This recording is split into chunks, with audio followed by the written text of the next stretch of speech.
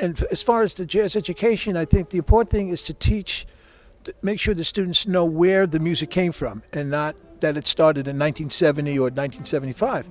Uh, when I teach my composition students, I don't say you have to write like Basie or you have to write like Duke, which is, or Jimmie Lunceford or anything, but you should know that music. So when I give, say, an example to them, say, well, uh, here is such and such a piece by Jimmie Lunceford, they should know something about it. Or if I said, you hear the uh, the Basie band with uh, with Lester Young and and uh, and that that particular band with Papa Jo, you should know what I'm talking about.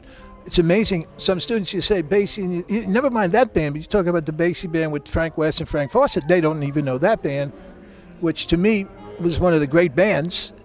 You talk about the pieces of Ellington and Strayhorn you get a blank stare for the most part. For the most part, um, I have a problem with that.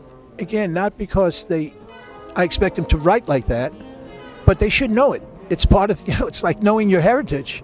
It's like knowing your family, and I think it's vitally important. And I run into that um, certain places in Europe. You run into it here, I'm sure, uh, where some of the students feel they don't need to do know that um, because they don't have to, basically it's like, well, why you do that? Because I can, you know. So I really feel that an important part of jazz education, no matter what your instrument is, you're a composition major or whatever, you should know where this music came from.